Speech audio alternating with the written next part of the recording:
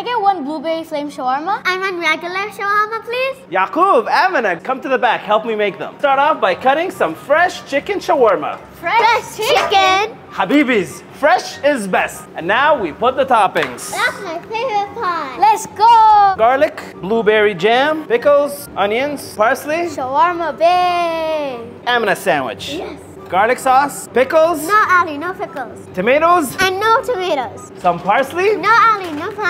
What do you want, Amina? Maybe add some ketchup? Amina, out of my kitchen. Out of my kitchen! I feel bad now. Hey, Amina, you want some fries? Yes, please. Some fries on her shawarma. Fresh chicken goes right on top. Signature habanero sauce goes right on top. What makes it signature? Amina, I said out of my kitchen! Then we wrap the shawarma super tight like a newborn baby. Glaze them, then toast them. Two delicious chicken shawarmas. Amina, I got my eyes on you. Thanks, Ali. You're the best.